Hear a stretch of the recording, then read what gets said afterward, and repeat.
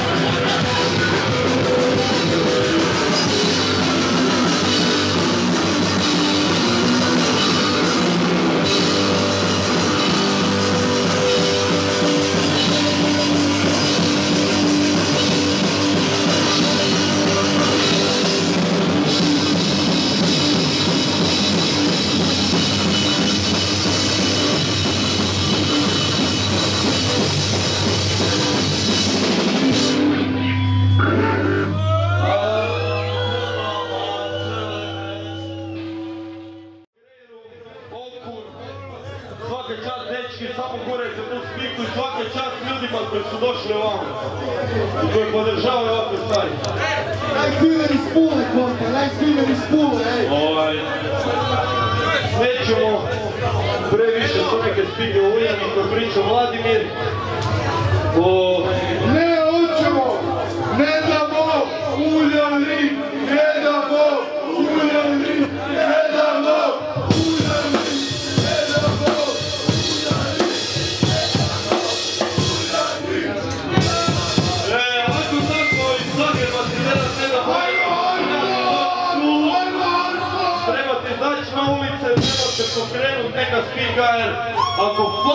nogometaši koji zarađuju toliko jebenu lovu mogu napuniti vaš trg ovdje na